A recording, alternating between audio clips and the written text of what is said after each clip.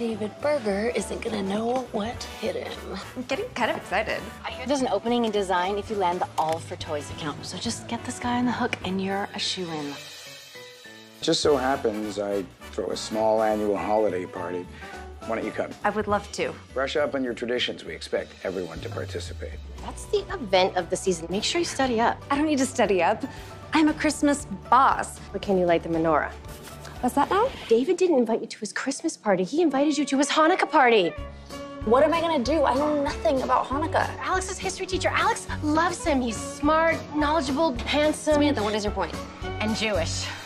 Jonathan here is an amazing teacher. Your new girlfriend's family is flying in for Christmas. How much do you know about Christmas? Nothing. Let's get you a menorah. Great.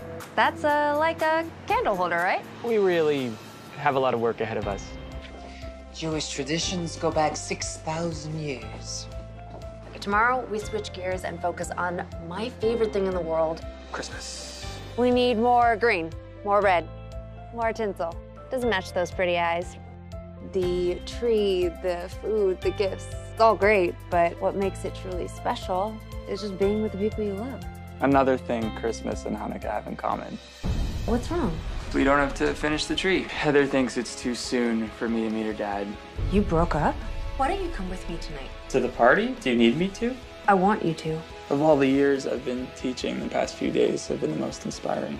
I bet you say that to all your students. Is that? Yeah. I don't know how to tell you this, but that's personally